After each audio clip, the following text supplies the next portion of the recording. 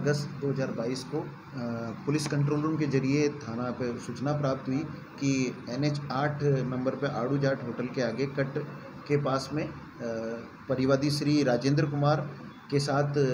कोई धोखाधड़ी की घटना हुई है जिस पर यहाँ थाने से अ, मैं हेड कांस्टेबल राजेंद्र टाक डी ड्यूटी पर उपस्थित था जो स्वयं वहाँ गया और वो श्री राजेंद्र कुमार पुत्र सुल्तान सिंह जाति जाट उम्र चौंतीस साल, निवासी ग्राम भामासी तहसील राजगढ़, जिला चूरू से मिला जो पुलिस थाना मांगले आवास के जाब्ते के साथ उपस्थित थे, उन्होंने बताया कि वो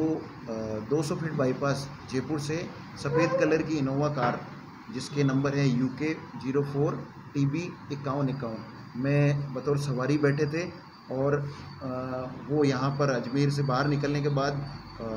जो इनोवा कार के ड्राइवर ने उनको टॉयलेट करने के लिए, उतरने के लिए कहा